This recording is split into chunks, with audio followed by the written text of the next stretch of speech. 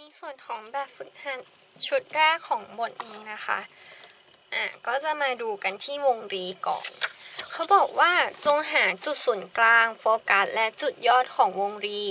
และหาความยาวของแกนเอกและแกนโท แล้วก็เอามาเขียนกราฟเนาะ ก่อนอื่นคือ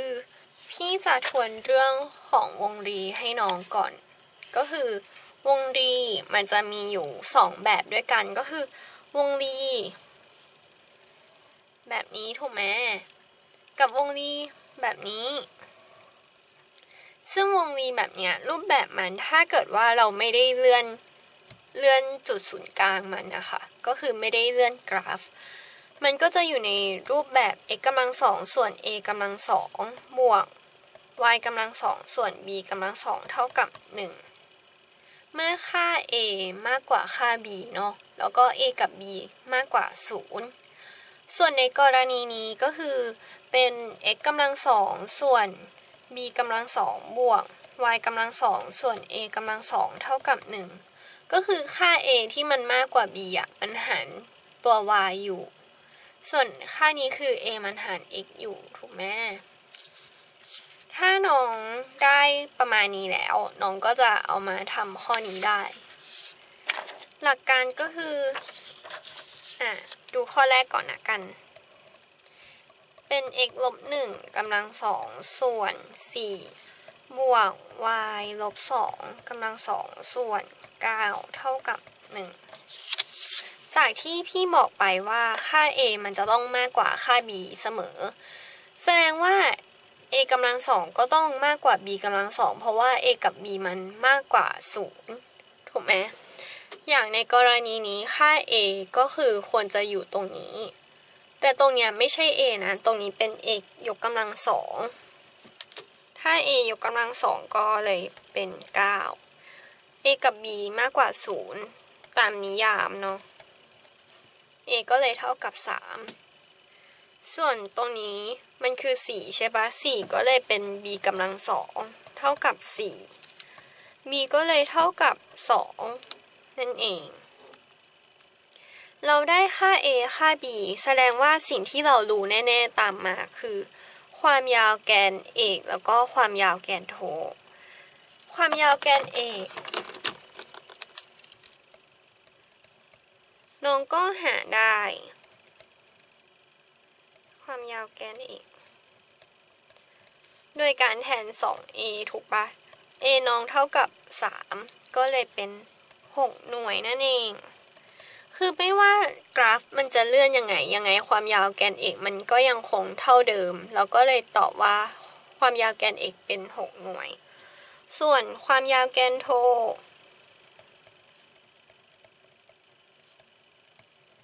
มันคือ 2b ซึ่ง 2b ก็เท่ากับ 8 เพราะว่า b เท่า 2b เท่ากับ 4 เพราะว่า b เท่ากับ 2 เนาะ 2b เท่ากับ 4 คราวนี้รู้ความยาวแกนเอก ความยาวแกนโทและ สิ่งที่ยังขาดอยู่ก็คือ จุดศูนย์กลาง จุดโฟกัส แล้วก็จุดยอด แต่ถ้าน้องดูจากสมการที่เรามีอยู่ สิ่งที่น้องรู้ตามมาแน่ ๆ ก็คือ จุดศูนย์กลาง เพราะว่าจุดศูนย์กลางมัน ถ้าเป็นวงรีที่มันเลื่อนกราฟ มันจะอยู่ในรูปแบบนี้ถูกไหมส่วน y y ลบ k กำลังสอง ส่วน a กำลังสองเท่ากับ1ก็คือจุดศูนย์กลางมันคือจุด hk นั่นเอง อย่าลืมว่ามันเป็น x ลบ h เนาะแล้วก็ y ลบ k ถ้าเราเอามาเทียบกัน ก็เลย h ก็จะเป็น 1 ส่วน k ก็เลยเป็น 2 นี่คือจุดศูนย์กลาง ของวงรี ส่วนจุดโฟกัส จุดโฟกัส น้องจะต้องรู้ค่า c ก่อน น้องถึงจะหาจุดโฟกัสได้ แต่ c กับวงรีมันต่างจาก c ของไฮเปอร์โบลาถูกปะ โดยที่ c ของวงรีมันคือรูท a ยกกำลังสองลบ b กำลังสอง แต่ถ้าไฮเปอร์โบลาก็คือเป็น a กำลังสองบวก b กำลังสอง อันนี้คือพี่ย้ำบ่อยมาก น้องจะได้รู้ว่า c มันค่ามันต่างกันเนาะอะเราก็แทนค่า a กำลังสองไป a กำลังสองเป็นเก้า b กำลังสองเป็นสี่ c ก็เลยเท่ากับรูทห้าแต่เพื่อความไม่งง ที่จะแอบวาดรูปวงรีประกอบไปด้วย ก็คือมันจะต้องเป็นวงรีในแนว แกนตั้งถูกปะ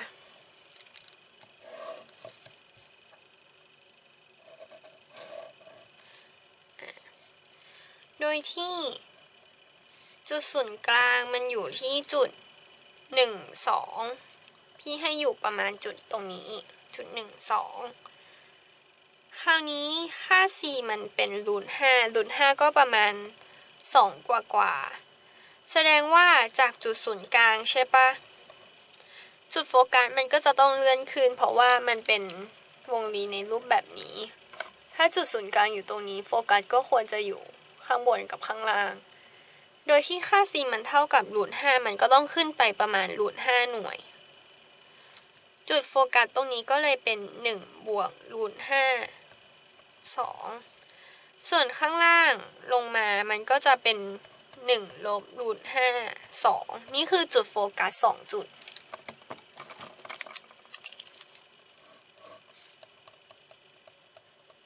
อืมก็คือ 1 บวกรูทห้าสองกับ1ลบรูทห้าสอง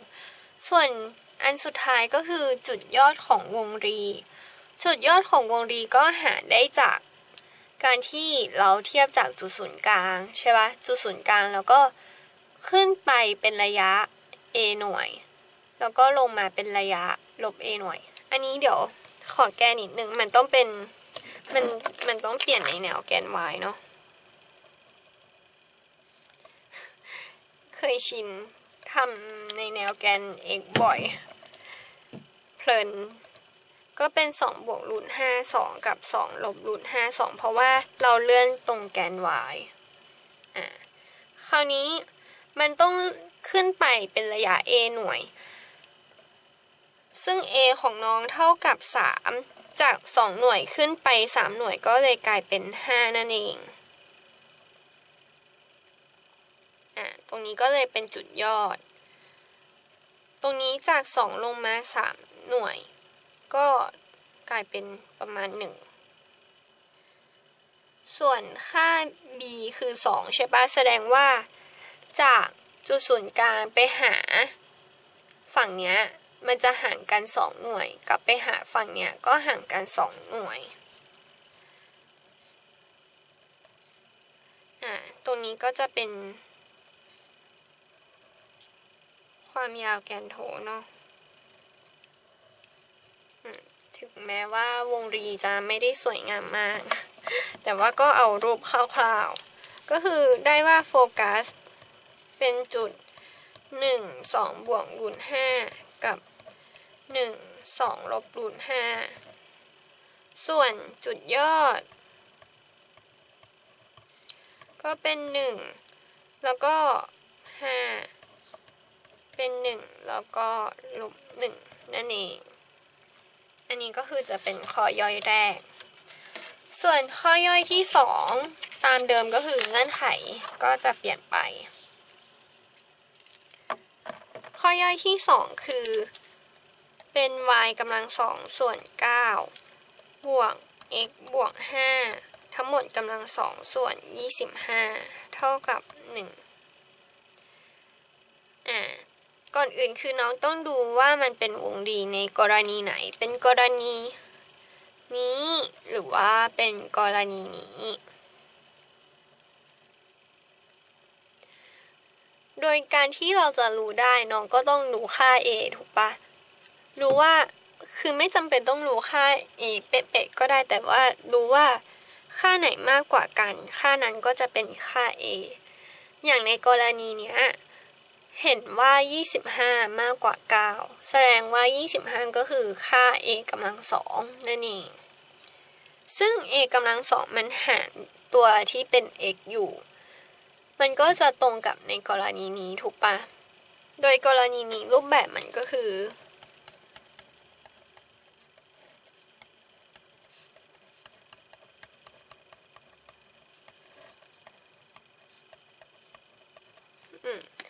รูปแบบมันคืออันนี้ โดยถ้าเราเทียบค่า a a กำลังสองก็จะเท่ากับ 25 a ก็เลยเท่ากับ 5 ส่วนตรงนี้ b กำลังสองเท่ากับ 9 b ก็เลยเท่ากับ 3 อย่างที่บอกก็คือถ้าเรารู้ค่า a รู้ค่า b น้องก็จะหาความยาวแกนเอกความยาวแกนโทได้ ไม่ว่ามันจะเลื่อนกราฟไปไหน ความยาวแกนเอกกับความยาวแกนโทก็จะยังมีค่าเท่าเดิม ความยาวของแกนเอกก็คือ 2a เท่ากับ 10 หน่วยนั่นเอง ส่วนความยาวแกนโท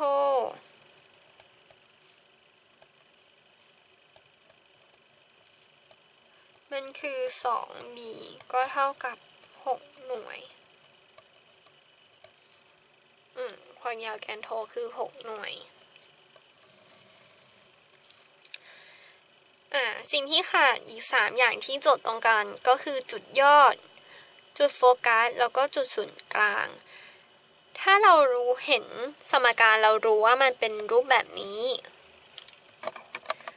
ก็จะหาจุดยอดได้ ก็เทียบค่าไปตรงๆเลย เพราะว่าตรงเนี้ยมันจะต้องเป็น x ลบ h ใช่ปะอันนี้ก็เหมือนเป็น x ลบ h แสดงว่าลบ h ของน้องเท่ากับ 5 h ของน้องก็เลยเท่ากับลบ 5 ส่วน y ลบ k ใช่ปะลบ k ของน้องมันเท่ากับ 0 k ของน้องก็เลยเท่ากับ 0 จุดยอดที่ได้ก็คือเป็นจุดลบ5 0 นั่นเอง จุดลบ5 0 โดยที่มันเป็นวงรีในกรณีนี้ถูกไหมคะนะอันนี้คือจุดศูนย์กลางไม่ใช่จุดยอดเพลินเพลินอีกแล้ว จุดศูนย์กลาง จุดศูนย์กลางของวงรีไม่ได้เป็นจุดเดียวกันกับจุดยอดเนาะไม่เหมือนกับพาราโบลาตรงนี้เป็นจุดศูนย์กลาง ก็คือเป็นจุดลบห้าศูนย์ส่วนจุดยอดน้องต้องเอาค่า a มาคิด ถ้าวาดกราฟคร่าวๆ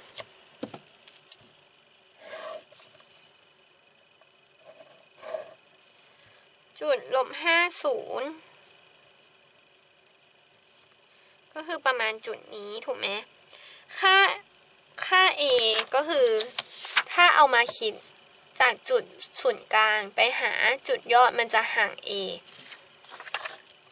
ตรงนี้เป็นจุดลบ50 a ของน้องที่ได้คือ 5 แสดงว่าจุดยอด 1 จุดก็คือจุด 00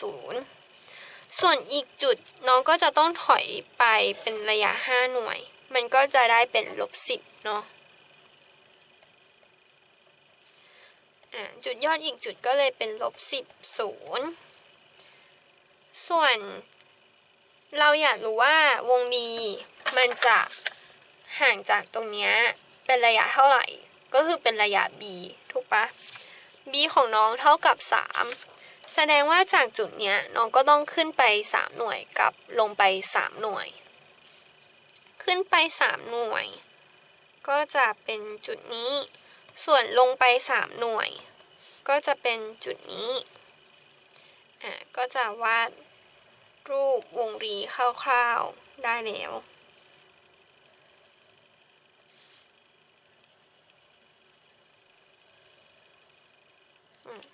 คร่าวจริง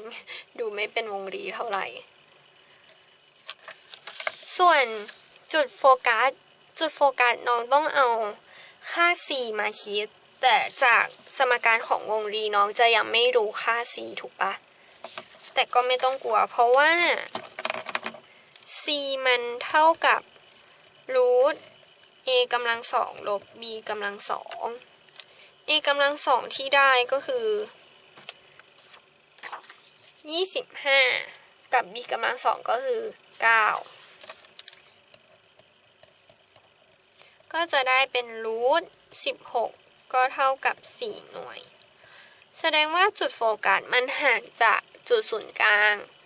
ออกไปเป็นระยะสี่หน่วยก็คือ ประมาณนี้ เป็นจุดลบหนึ่งศูนย์กับจุดลบเก้าศูนย์นั่นเองจุดโฟกัสก็เลยเป็นจุดลบหนึ่งศูนย์กับลบเก้าศูนย์ ส่วนจุดยอดก็เป็นจุดศูนย์ศูนย์กับลบสิบศูนย์ก็คร่าวๆสำหรับวงรีก็ถ้าน้องยังไม่แม่นเรื่องวงรีก็สามารถกลับไปทวนได้ในบทของวงรีเนาะยกกำลังติดลบแสดงว่าเป็นเศษส่วนถูกป่ะเนี่ยก็หายแล้วแหละเป็นเศษส่วนแทนขอพักแป๊บนะคะ